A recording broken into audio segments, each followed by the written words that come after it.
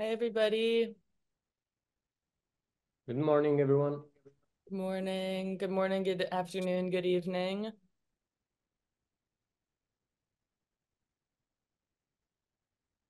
Morning.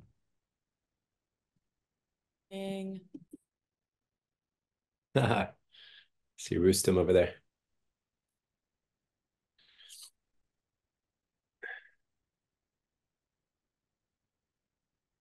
Great. Well, thank you all for being here. Um, I imagine some more people might might trickle in, and so I'm gonna just keep letting people in for a while. Um, but as we as we start, um, let's just do people want to just put into the chat? So we're live right now. We are, this room is being broadcast into the Refest virtual venue. So anybody who's watching um, on, on the Refest virtual venue, hello, good morning, good afternoon, good evening. Thanks for being here. Um, this is a meetup of all sorts of artists from around the world who have shared their work in this festival. So if you've been watching um, Refest, these are some of the artists who are behind those video works. Um, and I'm Maddie. I'm part of the team at CultureHub, and I'm in New York City. And where are you all? Everybody who's who's in the Zoom, would you put it? We're streaming the chat, so everything that we put it in the chat is um, visible to our our audience. So, where are you? Put in the chat. Brooklyn, Berlin, Istanbul, Portugal, New York, Kazakhstan, Italy, Croatia, Toronto, France, France, Suriname.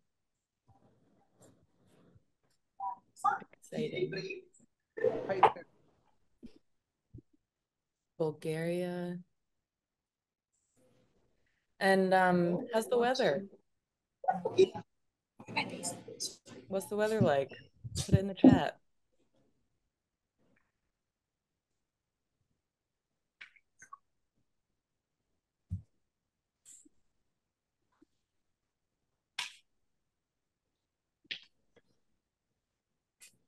Sunny, sunny, hot. Billy hasn't been out yet. Starting to be nice. It's a little gloomy.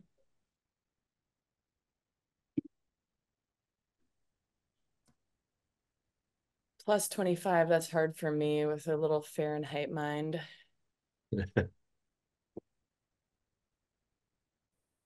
Super gray between cloudy and sunny. Is it raining for anybody anywhere? Any storms? really. No storms in the world right now? Mm, sadly, not. It's always raining emotionally. Mm.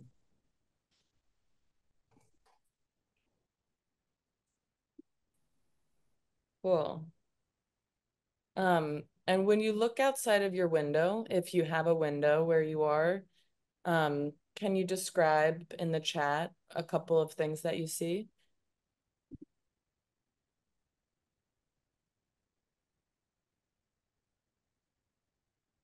TV tower, scaffolding. I see a brick wall. Horrible neighbors, a lake, a high rise. People coming back from work on the main street. Does anybody want to show us their their window right now? If you do, you could maybe raise your hand and then I'll pin you.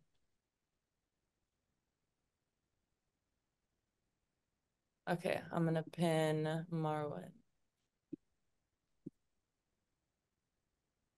Let's see your window.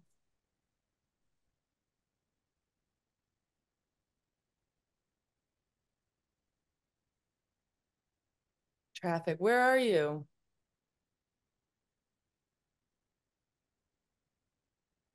I'm uh, actually in Addis Ababa, in Ethiopia. In Ethiopia.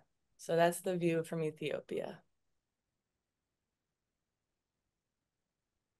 Nice. Thank you. I just find out something is burning over there. so it's not Uh-oh. Dark, but something Ah. burning over there. I have no idea what it is. Oh, where are you? Where are you? Why? So you hear me? You can see the burning stuff? Yeah, I do. Oh, Where? I have no idea what it is. But it's a huge Uh-oh. one and very far. Uh-oh. And where are you?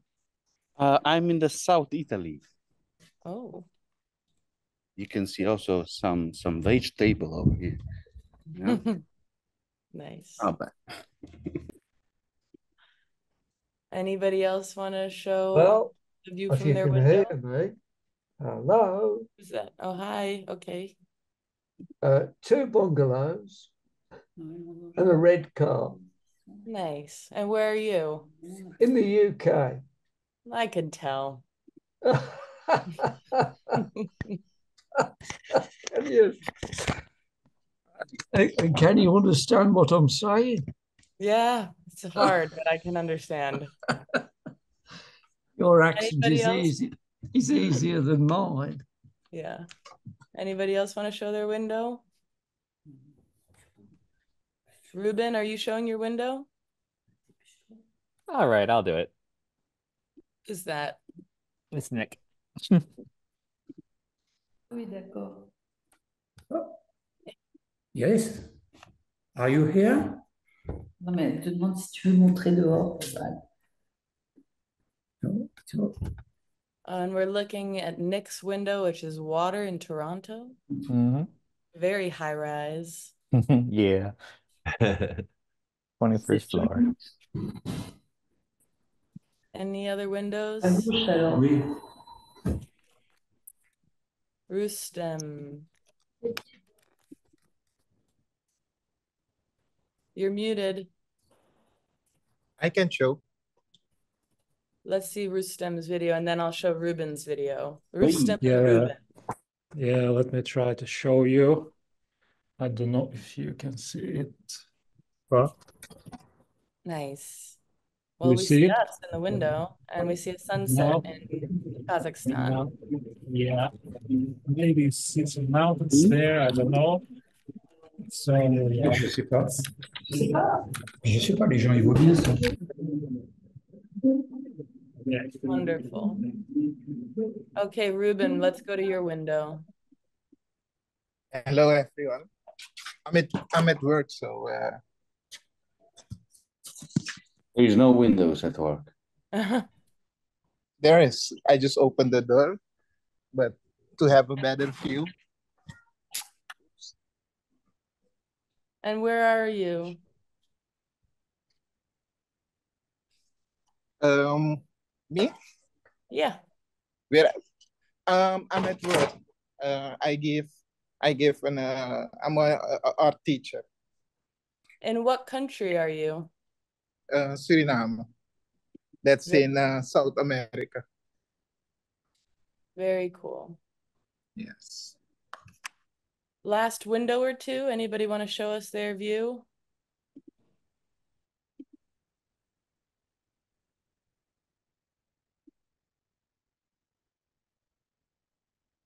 Luis.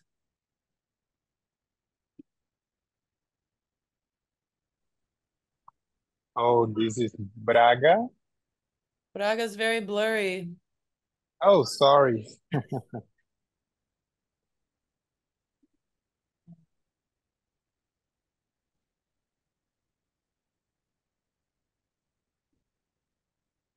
Where's where's Braga?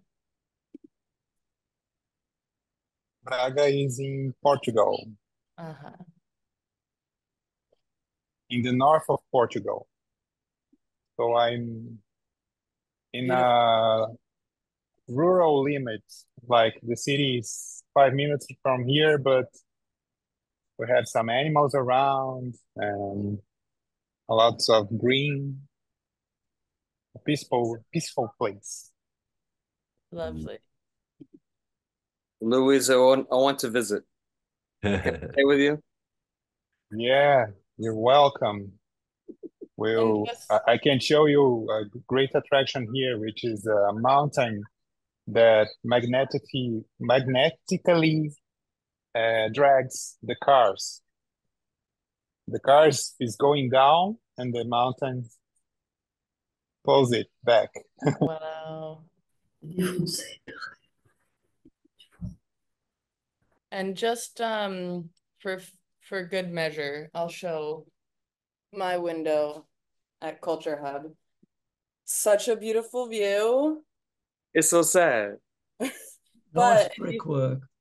If you look that way, you start to see. Oh, yes. But maybe the the Zoom call is the better view. Okay. So here we are. Thanks, everybody. If you joined a little bit late, um, do you want to just tell us where you're joining from? And um and and what the weather is and what you see outside of your window? Um cool. I Well, can thanks, say I joined a bit late. Oh, sorry. Oh, that's okay. Where are you Yeah, joining, I'm- I'm- Becca? I'm joining you from Leipzig. I don't know if you'll be able to see anything. Let's see.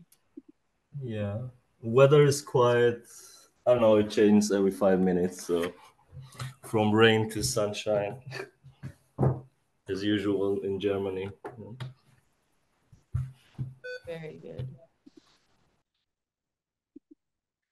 All right. Well, thanks everybody for um, joining us and for being a part of Refest this year. Um, like I said, I'm Maddie. I'm part of the team at CultureHub, and I've been sort of like looking through all the submissions and um, getting everybody's work together and to our creative technologists that then and our coders who could then build this platform that we're streaming on.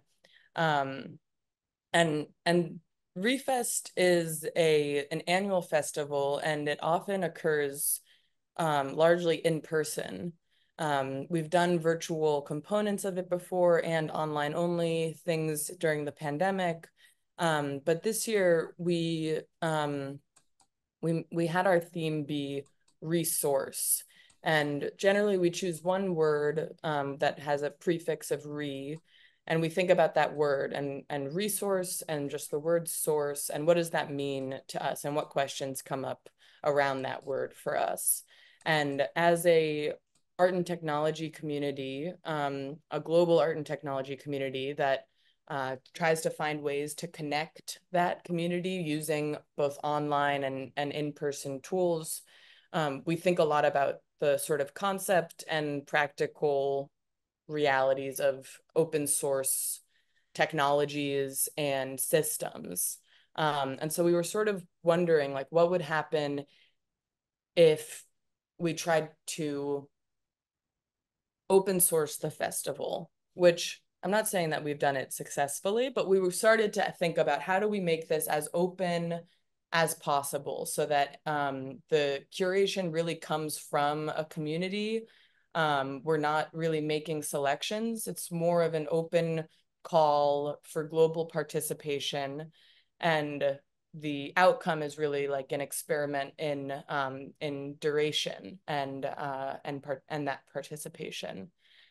So and then the broadcaster that we're using is also an open source technology. It's um, LiveLab Broadcaster is a, a web-based software that um, it's a browser-based streaming platform that's really low latent um, and it's highly customizable. So you can really, really do what you want with it.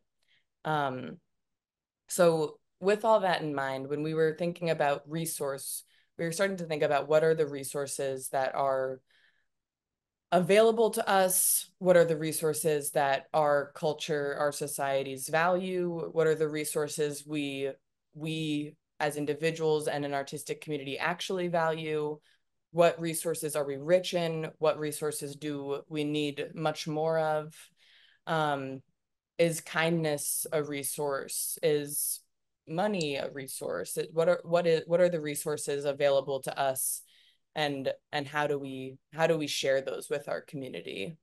Um, so those are Imagination. Imagination. Yeah. that's Yeah, a that's what we can give other people. Yeah. So just as Jim has started, um, what we were thinking is we could break out right now into a few breakout rooms and give you all a chance to just talk with and meet a smaller group. Um, and ask, a- and we have two questions for you, which are, um, what resource, what's a resource that you have that you could share with a global community? and what's a resource that you need? Um and i'm going to put us into breakout groups. And you know now you can just um talk and meet with with a smaller group and answer these two questions talk about these two questions which i'll put in the chat. Um and i will also um when we come back uh uh, we'll have we would like one person from each group to to share from that group. Um okay i think we're back together. So does one person from each group want to share share something that they discussed in in the rooms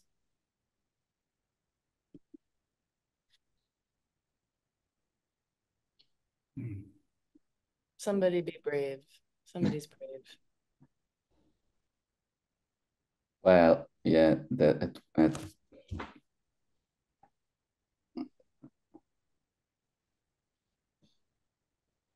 that was the question everybody was uh, waiting for. Like, how are you all dealing with AI? Uh-huh. we came at that question, yeah. Mm.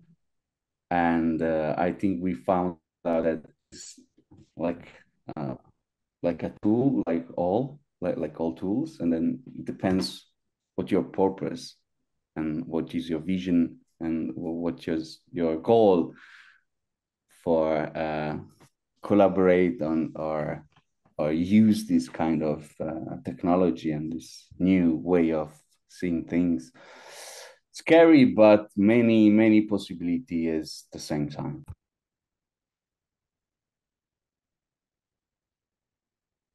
I don't want to put Gabriel on blast, but uh, you talked about your connection with uh, being in the space that you're recording stuff. Maybe you can speak to that.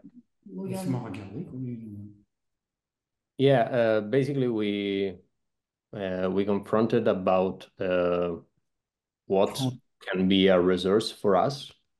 And for example, uh, for me, uh, the resource is to be able to be near the sea because as a sound designer, I'm, working a lot with sea sounds.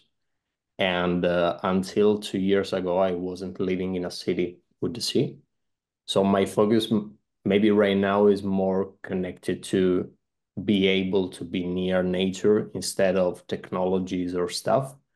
But at the same time, I'm considering also the the the possibility to bring maybe gear underwater. So I'm also uh, thinking about resources that maybe right now are not connected to sound design, maybe are connected more to film and um, video stuff. And uh, uh, for uh, non-films, sorry, man, I have a bad uh, memory. I forget your name. But for non-films, uh, is um, uh, uh, idea of resource can be to have um, uh, a laboratory that can work with eight millimeter films because it's is shooting in eight millimeters. So having a, a a place in which you feel safe to be your to have your work developed is a is a resource for him. So we we talked about a, a little bit about our work and then we shared this opinion on resources.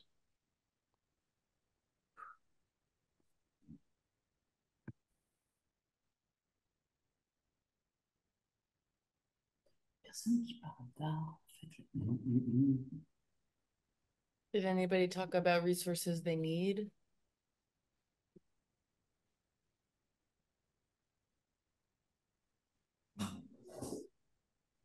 Je pourrais parler un peu de notre esprit. Non, mais attends, je You can just speak. Yeah, any- yeah, what, what, what we I, I want, I, I would like to say something. Ah, you should speak before. Uh, I'm very happy to be there, but nobody is speaking really of the artistic foundation of his work. Nobody is speaking about his work, what is mean, what is um, comment Signification. signification, because of all, uh, the, it is bounded to the actuality, to the specificity, to the world. It's we are in in uh, in artistic. um I don't know because it is uh, New York or, but uh, we have made a lot of festival in France and in Europe, uh, and the the the feeling is quite different. You know, we are more sensitive. I think. I, I understand well what uh, Brigitte says because um, our focus on our work is to say artistically, artistically, um, we we use video as a medium and body other medium, and then the result is um, artistically a, a sort of uh, theatrical appearance and no technological appearance, but it's for our approach of the work But and, and the signification. But you know, uh, we have seen in the videos uh, wonderful works.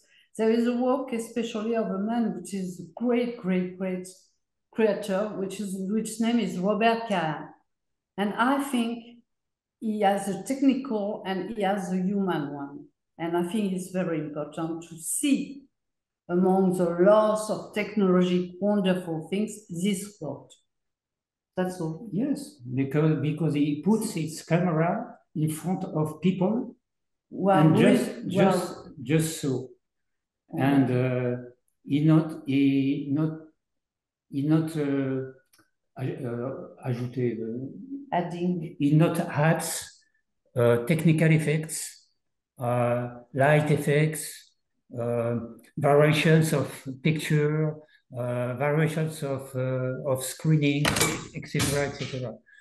Eh, we we we think that we think that uh, the purpose of video might be very simple. But It's- it might be technically. We saw there is a we we make a festival which is very je peux faire de la pub pour les. You, I don't know if you know there's instant video in France, but they mix all sorts of video and it's wonderful because you have all sorts very technical one and very simple one. And I think video is a very open. Sure. C'est tout. That's all. Very good.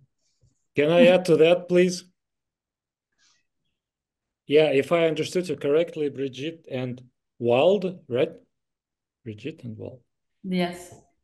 Yeah, I think what is happening in the world today, and maybe for last some decades,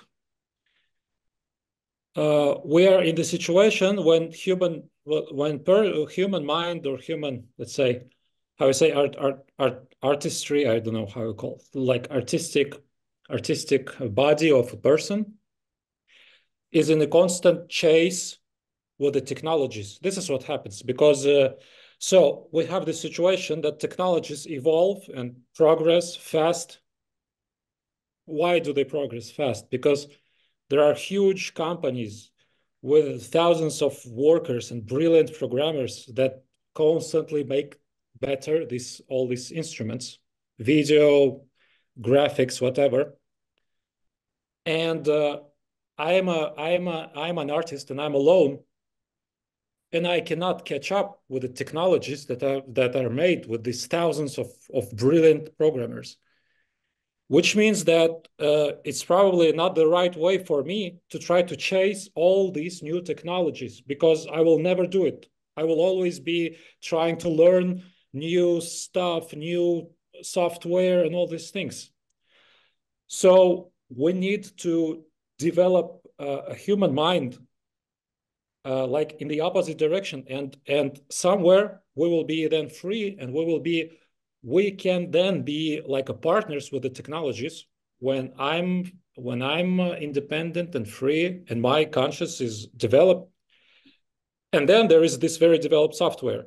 And then interestingly you can find these ways of how to interact with these technologies and now how and not how to be like servicing these technologies.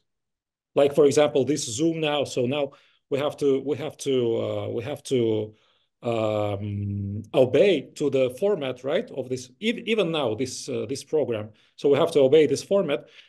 And but but if you try and an artist can do it because art art is this domain where you can actually uh, develop your mind.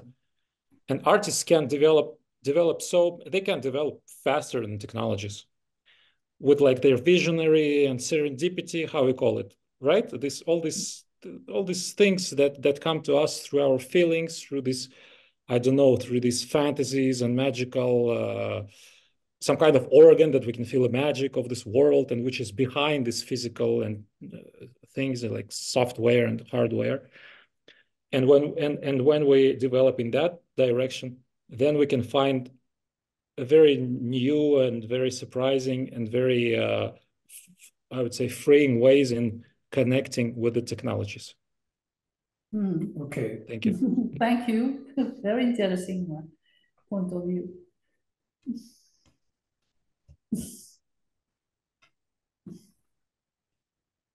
Um, hi, Rustem. Uh, uh, thank you for uh, your point. Uh, I think as a curator of art and science projects, uh, I deeply connect with what you said. Uh, because I think that actually artists are those who are moving technology and science forward. And in the field of where I work, uh, it is very much seen in every day how artists are actually uh, changing the way that uh, less creative and more maybe hard skilled people are thinking, uh, but it's helping them to actually expand their view and to create things that have not yet been created. So I think it is not something to be afraid of, but maybe it is uh, something that uh, uh, you as artists, because I'm not an artist, I'm a curator, uh, can actually help uh, with. And uh, through the critique or creative thinking, uh, we can make uh, both science and technology, I don't know, more humane and more creative. Uh, and I think this is uh, actually a great uh, way to move forward as, I don't know, as a generation, because we cannot basically avoid technology, but we can rethink it and make it, I don't know, less surveilling, less uh, invading our privacy and artists are doing this and after artists are doing this i think um, people and companies also start to rethink what they're doing um, I had I had some thoughts like following up on that a little bit, not exactly, maybe it's I don't know. So it it it's both from um, Christina's way of putting it and also the prompt Maddie gave us about like one wisdom to share, something like that, you know. Uh, and uh, one of the things I've always tried to do is uh, volunteer for uh, curation, for programming. And uh, I realized that you have to build your audience. You have to cultivate like your base a little bit.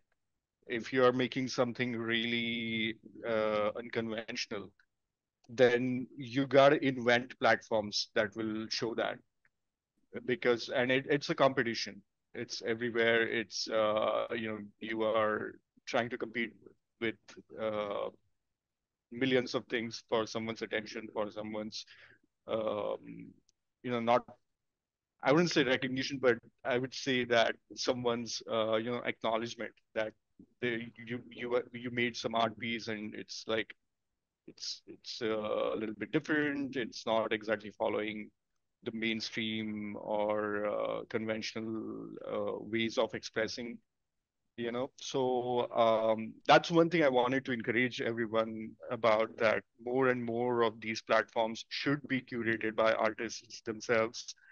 And uh, that's how we get to present our stuff. Uh, I, I i don't mean it like just because i'm programming a film festival my films are going to play there. But uh, i think it it becomes a really good way of building a community and you're always going to find like-minded people and like-minded artists. You just need to go out and search for them and try to build a place where all of you can gather you know? So um, yeah i think that's how that's i think that sums up everything i wanted to say I want to make sure, Ellen, um, you can say something because I think you were trying to earlier. Yeah, uh, all I wanted to say was, you know, we we we went around and the way, you know, because uh, I was speaking first because I we framed it or I asked the question, what do you need and what do you have to share? So um I think that's we got to that and it was really interesting what people were saying they needed and what they had to share and then the time was up. So you know by the time we got through everyone but you know I, I it was really interesting because i was thinking i really need that and you know it was like someone popped up. And i was going oh my god this is too much. So i you know it was really interesting to just frame the question very simply what can you share and what do you need? I think that really you know in terms of uh pushing forward creative practice that's always an argument for creative practitioners. Uh, you know i have things i can share but i need this. You know it's sort of like a barter economy almost. So that's what i wanted to say we did. Can okay. you give an example of of of one of those things that came up? Um I if someone else in the group can talk, I would rather they say something than me. So anyone else who one person dropped out, the uh the person from Suriname said they had to go, so they they dropped out. They were, but who who else was in the group? Can you someone else jump in? Because I don't want to yeah, speak for everyone. I, I can jump in. I mean, uh, the topic was going very interesting. We just I wish we had more time. It almost felt like you know. Um, we were sharing like also like practices like i think uh, at some point we would get to the point where we would share probably like will be the best practices for festivals and so on and on and on yeah that's that's what i can add but it's interesting to find out what uh, others were also talking because i was a bit like uh, it's very very interesting topics it's just very different subjects what's going on yeah. Hmm.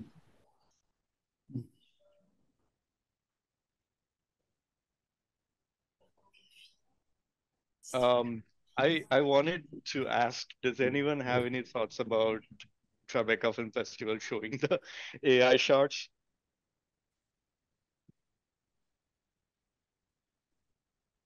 Can you repeat, please? So the the Tribeca Film Festival this year they have a section dedicated to shots made by AI. I think using the Sora platform and uh, you know obviously it has started a lot of discussions um, a new set of a new wave of uh, you know um, opinions op-eds and all that. So i wanted to know if anyone had any thoughts on that that they want to want to share. I do. Um, i mean I work said I work with machine learning, researching it, making stuff. So I, am not uh, sort of inherently opposed to it. Um, but the wave of LLM generative stuff, there's an interesting dynamic, I think, independent of the tech, which is basically a new kind of stock photo search, essentially, um, and potentially a new kind of rendering, which I think is really exciting. Um, but there's a thing going on right now is like basically, would they accept a film made of whole stock photos, you know, uh, of, of a similar type? under the same context, right? So it, it's it's so essentially a way of sticking um was it the Walter Benjamin type cult value onto what are basically uh you know stock photo um searches. um so that that's I think that where it strays into the the problematic. I mean, in general, uh, I think it's actually really neat that we can render an image with ground up pieces of photos rather than bouncing light off things. Like this is a new capability and it's really interesting. Um, but you know, where the source material comes from in any given case. And then is in terms of, of blessing this with the status of a film festival, it's okay, well, if an artist made, I mean, there are found footage, there are found footage pieces, right? If if each of those components was, you know, found on Internet Archive and that same film, would, would it still have the same artistic merit? And, and, and that that's that's where I think it gets curious. Absolutely not. Fuck AI, get some talent. Straight up. Like found footage is not the same thing as artificial intelligence. Artificial being the, the main point. So mm. um yeah. Well, just, there's no intelligence, right? This is this is human-like memory, not human-like cognition. It, no, no, no, no. But you, you, you, missed the first part. Artificial. Mm -hmm. It's artificial. Mm. Get some talent. Um I think uh, I might maybe make a comment. Um, when it, I think like a film with uh, stock photos could be artistically appreciated uh, pretty well, because then it would be mostly a work of uh, editing. It could it could like construct. It could work. It could be more of a work on uh, creation of a narrative uh so like all these like it's not we don't only create the images but we also make uh, links between them and that's also like one of the most important um uh, components of what we do. So also i think like with the i didn't see those ai films of tribeca film festival and like i didn't know that this section existed but uh also there like the artists they will make up a story they will put them together like there's uh, lots of work in that like um that's also an artistic creation i would say. Um the just as things get nice and hot and spicy and the that's kind of when it's like uh-oh it's time to end. Um because this has been an hour. Um but i wanted to ask one more question which is I mean, I think like the the real uh, like a, a main question for us has been like what what is the resource of of this potential sort of you know global community? If we are you know as Ellen was in this room with um Becca and and whoever and Ruben and whoever else was there and you were asking what do you have? What do you need? Um you know that to me it's like okay wait there's a that even the fact that we're all in a room together that could be a resource that we have. Um and so i sort of just wonder and this is a very final question but you know is this sort of a coming together and open call and um is this a resource that is valuable to folks and and how and why and maybe it's a um, maybe people could just put one final thought in the chat, um, and then we'll we'll wrap it. Yeah, I just want to add one thing to that, Maddie, which is um, you know, this is uh this type of convening uh and and I, I don't know, uh, solidarity building is something we've been thinking about um in the the global arts community. Like I'd be it would be very it, would this be something if we were to do this on a more regular basis to have kind of meetups like this is that something that people would find valuable and useful and also as you could see there was such a diversity of topics and things that are brought up if people have thoughts or suggestions about um, topically how those groups could be framed um, uh, that would also be really, really interesting to us uh, to learn about. Like, you know, maybe there's a group that's, you know, I mean, AI came up a lot. So maybe there's a, maybe there's sort of like a research or discussion group that's like focused on a particular aspect of that.